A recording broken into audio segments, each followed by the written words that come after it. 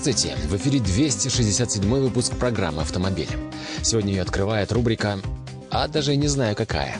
По идее, это за безопасность на дорогах, но она остро приправлена погоняшками. Давно мы хотели провести подобный эксперимент. И вот что называется «час настал». Для начала введем суть вопроса. Городская езда. Как бы ни ругали наших водителей, но большая часть нас ездит весьма адекватно и весьма аккуратно.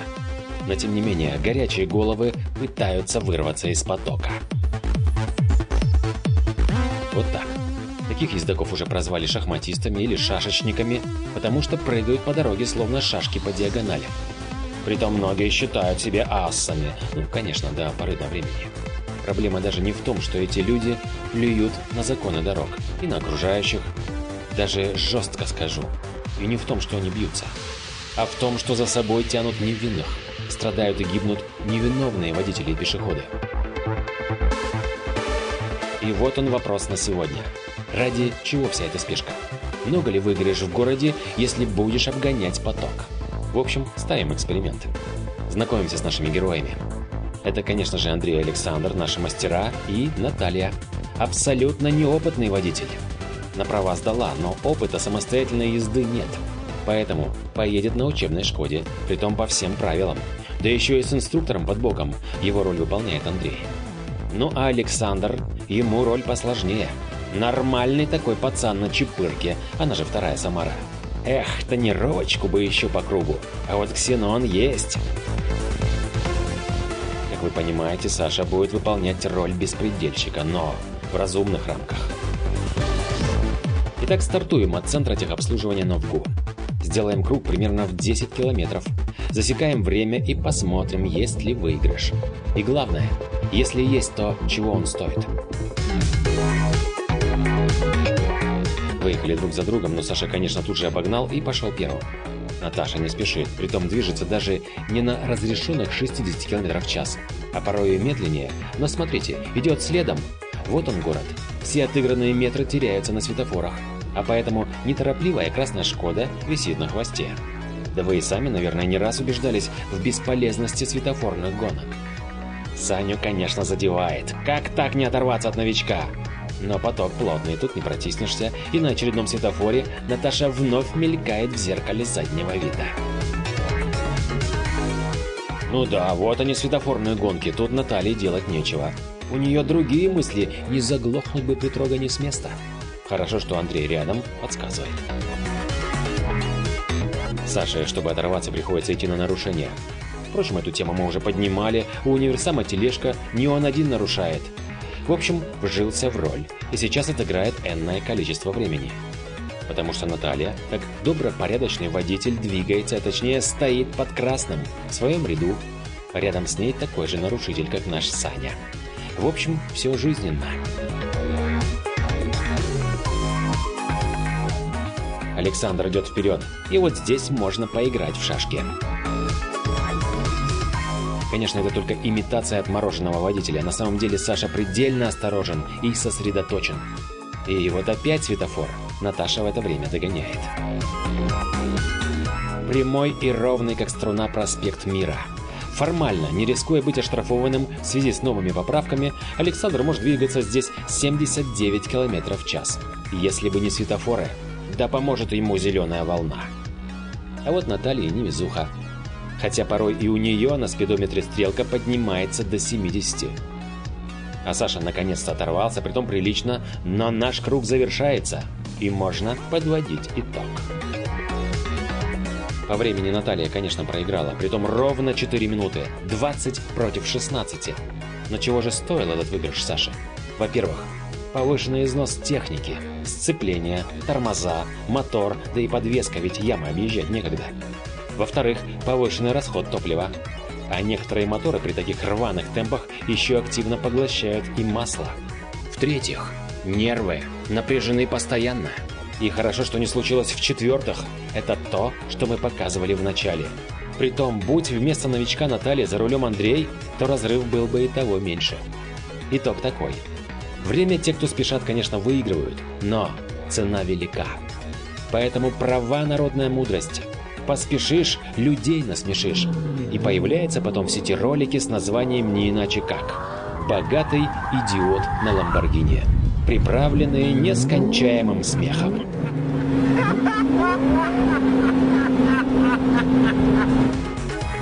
Благодарим Автошколу Водитель Плюс за очередной видеоурок. У кого нет прав, приходите учиться. Грамотные преподаватели и инструкторы научат законам дорог. Однако учитываем, что это смесь рубрик. Как и положено в погоняшках, бензин нашим героям.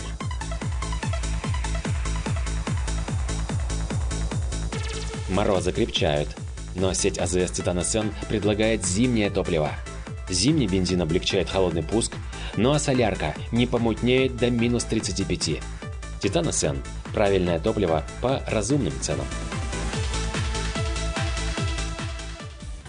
И еще подарочек для наших участников. Уже от сети моек «Бешеная губка». Сертификаты на бесплатную мойку для победителя и 30% скидка для проигравшего. Хотя, кто сегодня победил, это вопрос. Ну а сеть автомоек «Бешеная губка» приглашает автовладельцев к себе. Кто-то здесь уже мыл машину, кто-то нет, попробуйте. Разумные цены, хорошее качественное шампунь и автохимия, профессиональное оборудование и опытные работники. Действуют различные бонусы. Например, вторник – мужской день, среда – женский, скидка в 15%. Выбирайте, где удобнее, либо на улице Рабочий 1, либо на территории торгового комплекса «Волна».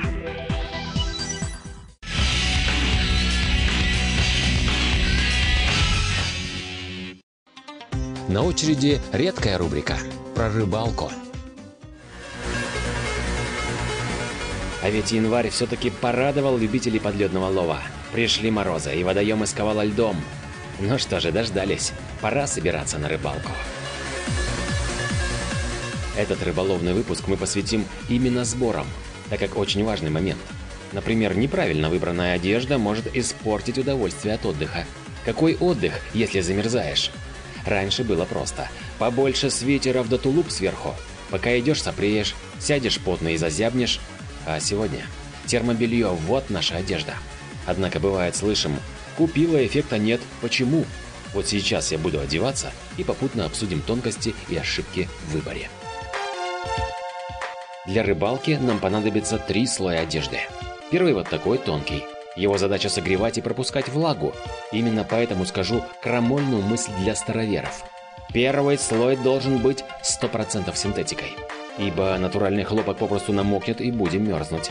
А вот и классическая ошибка. Одевать первый слой на футболке, майки нельзя. Только на голое тело. Притом белье должно облегать, но не сковывать. Поэтому и складки плохо, и чересчур натянутая ткань нехорошо. Берем размер в размер. Посмотрите на швы, хорошо, если они будут наружу, чтобы не терли тело. Второй слой. Его задача сохранить тепло. Он греющий. По сути, флисовые куртки притом симпатичные и удобные, а поэтому многие носят их и в повседневной жизни. Женские варианты тоже есть, ведь это удобная одежда не только для рыбалки, но и для всех видов активного отдыха. Теперь завершающий третий слой. Теплые куртки и костюмы. Современные технологии позволяют делать одежду дышащей. Внутри мембрана, которая пропускает влагу изнутри, но не впускает холод снаружи. Материалы разные, есть и бесшумные, не шуршащие, их оценят охотники. А есть костюмы-поплавки, они предпочтительны по первому и последнему льду. Если лед под ногами провалится, шансов выбраться больше. Костюм, что спасательный круг. А вообще, всегда носите на рыбалке с собой вот это приспособление – Выбраться из полыни тяжело, лед скользкий. А эти когти помогут. Спасали не одну жизнь. Если замерзли ноги, то считай, рыбалка испорчена. Впрочем, не только рыбалка. Я вспоминаю, как злился на себя за промашку в одном из наших внедорожных путешествий, когда черпанул полный сапог воды. Для меня поездка была испорчена, просидел полдня в кабине. А вот надел бы такие непромокаемые чулки из неопрена, то имел шансы остаться с сухими ногами. Что касается термоносков, выбираем их по температуре и уровню активности. А то купят и жалуются, что в минус 20 холодно, а на этикетке плюс 5 до минус 10. И захватите с собой термостельки. Если ноги замерзнут, то поможет химическая реакция с выделением теплоты. Вот меня бы тогда такие стельки выручили. А еще сапоги надо было не резиновые, а из ЭВА надеть. Нет им равных в холодную и мокрую погоду, так как попросту не впитывают влагу. Прелесть этой обуви мы оценили на зимней рыбалке. Мало того, что у них эффект термоса, то есть низкая теплоотдача, но сапоги очень легкие, удобные, пористая структура работает словно амортизатор. Если голый лед, хорошо, если на подошве будут шипы. Да, те самые, как в автомобильных покрышках. Ух ты, прям ностальгия. В 80-е годы мы отдавали за такие бешеные деньги, притом за не новые. Форцовщики выменивали их у иностранных туристов. Вот они, те самые финские, отлично подходят для повседневной жизни. Терпеть не могу, когда на рыбалке руки мерзнут. И предпочитаю такие варежки, чтобы наживку можно было посадить. Еще хороший вариант. Флисовые теплые перчатки и сверху неопрен, который не пропускает влагу. Как гласит народная мудрость, держи ноги в тепле, а голову в холоде. Но шапка в мороз все же не помешает. Притом лучший вариант именно ушанка, а хороша и для ежедневной носки. Рыбацкий вариант с ветрозащитой. А для охотников еще и вот с такой ярко-красной расцветкой. Это чтобы напарники заметили, а то еще за лося примут. А вот ветрозащита и подшлемники пригодятся, если на рыбалку поедем на снегоходе. Хотя, вот тут мы, пожалуй, закончим с одеждой и посмотрим на недорогую альтернативу снегоходу. Мотобуксировщик Paxos. Главное преимущество такой техники мы видим не только в малых габаритах, но еще в том, что не нужны права, не нужна регистрация ни в Гостехнадзоре, ни в ГИБДД. Если поездка по льду на машине может привести к штрафу, то здесь нет. Это же собачья упряжка, только с моторчиком. Не зря мотобуксировщики получили второе имя – мотособаки. В обслуживании просты, ломаться здесь особо нечему, моделей множество с разными двигателями китайскими и японскими, на заказ привезут любую. Однако вернемся к нашим сборам. Альтернативу рыболовному ящику пока не придумали. Все тот же самый чемодан с отсеком для рыбы и снастей. Я остановил свой выбор на этом. Легкий, удобный, есть отсеки для блесен и мормышек. А вот выбирая ледобур, призадумался. С одной стороны, можно взять ныне самый популярный – бурит лунку диаметром 130 мм. Мне нравятся барнаульские изделия. Надежные, без люфта вместе крепления и сверлят хорошо. А с другой стороны, если жерлицы поставить или за белой рыбой податься – то здесь лунку побольше надо, 150, а то и 180 миллиметров. Главное, что выбор ледобуров хорош, даже спортивный есть. Кстати, любители половить белую рыбку. Февраль месяц на носу, а это метели. Не зря я к палаткам подхожу. Вот она отличная ветрозащита. Некоторые рыбаки, прежде чем ловить, сооружают из снега стенку-крепость. Холодный ветер – главный враг комфорта. А в палатке лучше. И лунка не обмерзает, Притом, если зажечь свечу или обогреватель, то хоть раздевайся. Даже большая палатка не представляет из себя в собранном виде громоздкую поклажу и ставится быстро. Вот такой домик, притом с окнами и вентиляцией. Здесь и вдвоем не тесно. Ну а теперь, наверное, самое интересное – приманки. Конечно же, у каждого есть своя любимая блесна. Но я возьму смелость посоветовать. Вот только сейчас наберу с десяточек.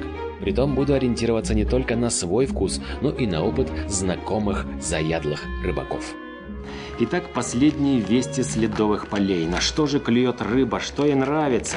А нравится ей однозначно вот эти два экземпляра от Раппола. Вообще хорошие балансиры, однозначно рабочие. Но главное от Рапполы в этом сезоне это вот этот балансир красивый, но с металлическим хвостом. Если пластиковый хвост щука бывает хватает и откусывает, то здесь у нее сделать не получится это. Крепкий, красивый, уловистый. Как ни странно, но и корейские балансиры наша рыбка любит. плотвичку, голубенький. И под окунька тоже рабочие рыбки.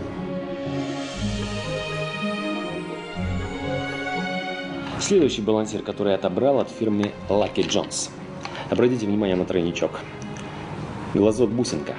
Только что мне звонил мой знакомый, который приехал с рыбалки и сказал, что кто использовал такие балансиры, у тех поклевок было больше. Так что бусинка это рабочая. Ну и, наконец, финские приманки. Финны – это ребята, которые знают толк в зимней рыбалке, и поэтому вот вам два абсолютно рабочих балансира. Ну а теперь блесны, опять от финнов, от Куасама. Здесь у нас просто классика. Это, во-первых, симфония, это нордик и джаз. Окунь обожает эти блестящие железки. Ну и под конец народная работа, так называемая «Блесна Матвейчикова». Конечно, это не авторская работа, это уже э, копия, э, то есть фабричное изделие, но повторяет точь-в-точь -точь ту самую блесенку.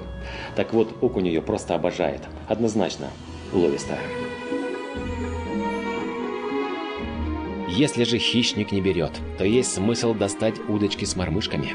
Уж чего-чего плотвы надергать всегда можно. Особенно если лунки подкормить. Для этого используем зимний прикорм. Обратите внимание, надпись «Зима» не случайно. Летний корм жирнее и, как правило, содержит жмых, который в холодной воде не работает. А мормышек сколько? Вот мои любимые, это глазки. Ловлю на них и зимой, и летом. Любую рыбу, вплоть до карася уловисты и имитаторы личинок. Их много, красивые мормышки. Дробинки тоже хороши и разнообразны. По большому счету плотва, ясь будет брать любую. Когда мы выезжаем съемочной группой на рыбалку, то ловим на разные приманки. А клюет-то у всех. Хотя, конечно, у кого-то реже, у кого-то почаще. В чем секрет? В снастях или все-таки в рыбацкой удаче? Вот на этой ноте и подведем итог. Когда в сети магазинов «Автомир» появился рыболовный отдел, некоторые сомневались, а нужен ли в автомагазине такой? Время показало «нужен». Среди автовладельцев полно рыбаков, и я в том числе. Отдел пользуется популярностью и расширяет ассортимент. Про многое еще можно было бы поговорить. И про удочки, их выбор огромный. И про живую наживку. Но пусть это будет темой для другой программы. Отметим, что в этом же отделе есть товары и для активного отдыха, которые сейчас продаются со значительной скидкой. Сезон подледного лова в этом году, похоже, получится коротким. Так что не упускайте эти классные солнечные деньки. Да, и глаза берегите. Используйте солнцезащитные очки. И еще, опережая события, расскажем, что такой же рыболовный отдел, как и здесь, в Автомире в Колмово, в ближайшее время появится и в магазине на улице Псковской, так что заходите и туда тоже.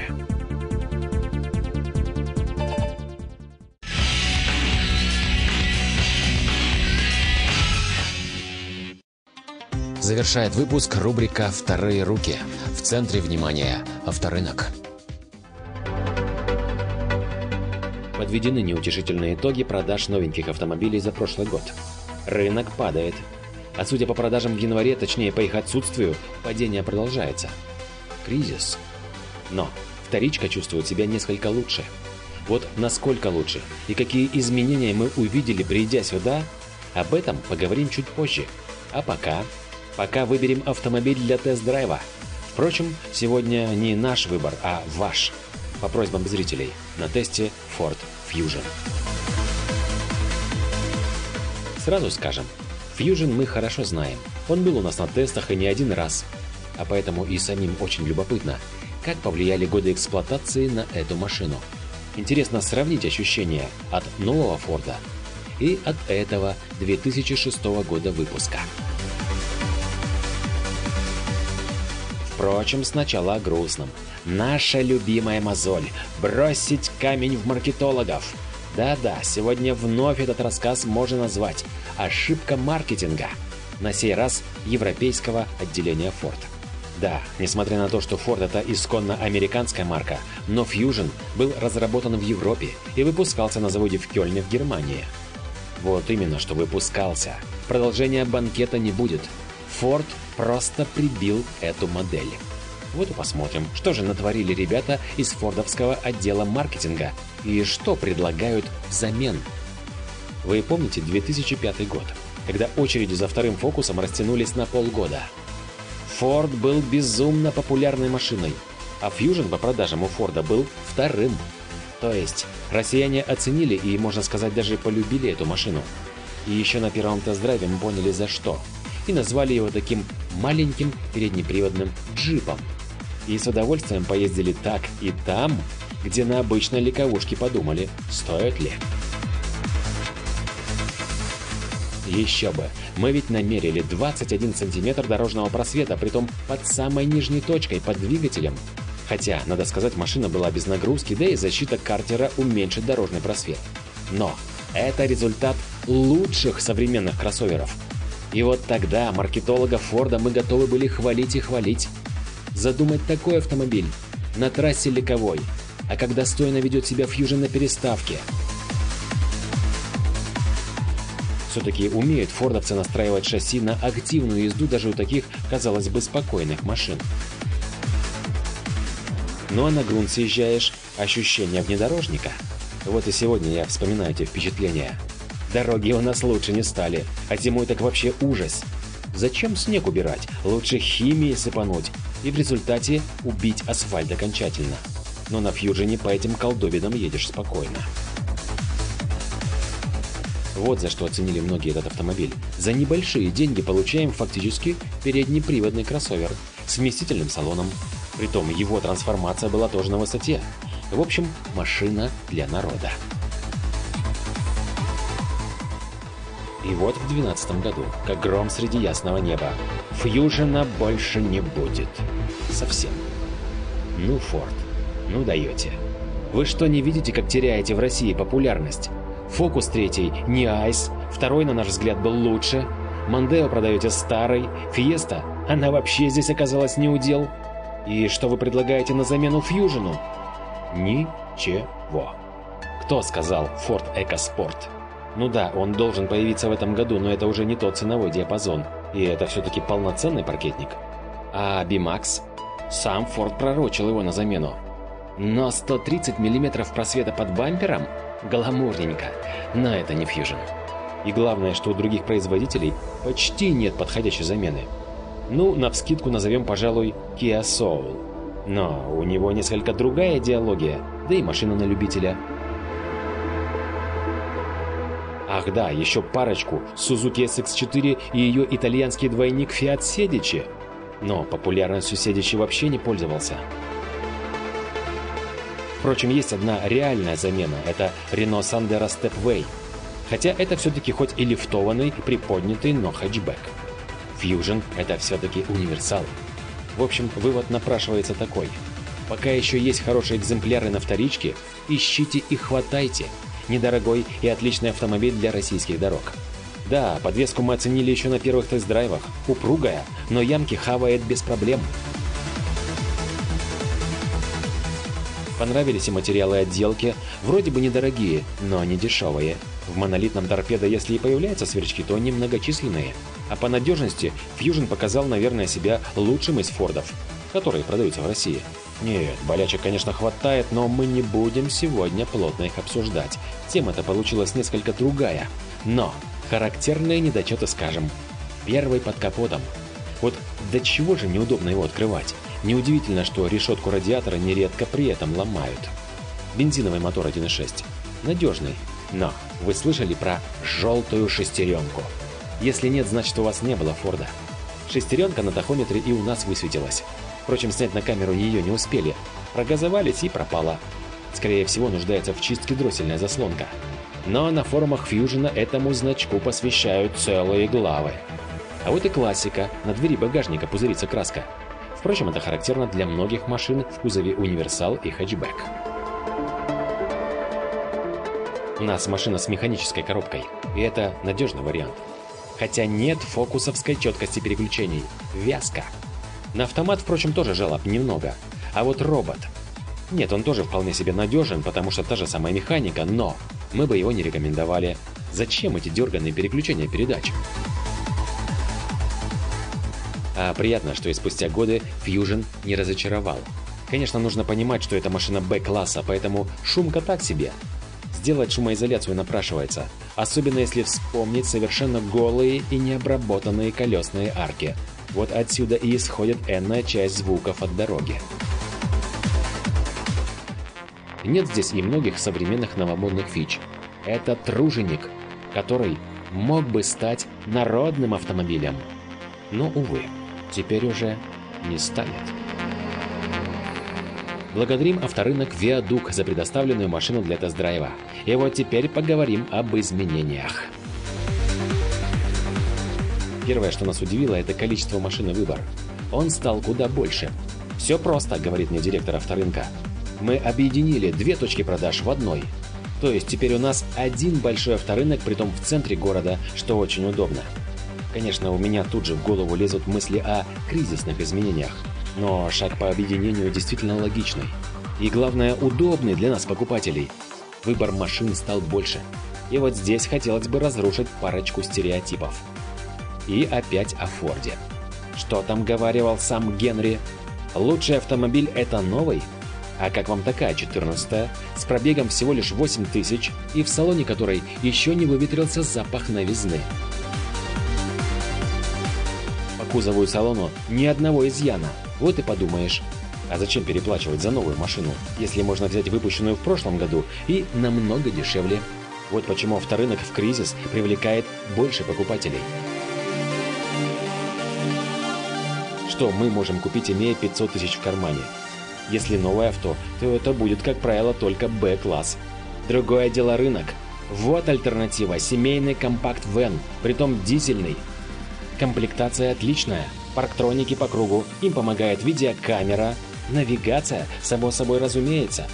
А музыка какая, только послушайте. А салон, рожа, кожа, в общем, классный сценик. Вот она, рыночная альтернатива. Ну а если Б-класс, то можно поискать и вообще не задорого. Вот яркий представитель – Логан. И притом по хорошей цене. А еще на рынке есть машины, которые вообще в салонах не встретишь. Как вам Toyota Urban Cruiser? Думаю, многие такую в первый раз видят. Автомобиль с Европы без пробега по нашим дорогам. Знаем, что есть ценители именно таких экземпляров. Их видим здесь немало. Много и российских машин. В кризисные годы недорогие автомобили, притом и простые в обслуживании, всегда пользуются спросом. И вот тут хотелось бы разрушить второй стереотип. Машину лучше покупать у хозяина. Ну да, только сейчас покупка по объявлению связана с риском. Чем хуже живем, тем больше мошенников и обмана. Случаи нередки, когда купил авто, с ним появляются какие-то проблемы, звоним по телефону продавца, а там ни привета, ни ответа. На авторынке, при том который работает не первый год и все-таки дорожит своей репутацией, спокойнее. Общение идет с менеджером, да и телефон хозяина машины, если что, узнать без проблем. Под боком весь необходимый перечень услуг по оформлению документов, кредиту, обмену, он же трейдин. А если продаем автомобиль, то тут же можно сделать предпродажку, включая химчистку салона и мойку. В общем, виадук стал больше, а поэтому и предложение шире.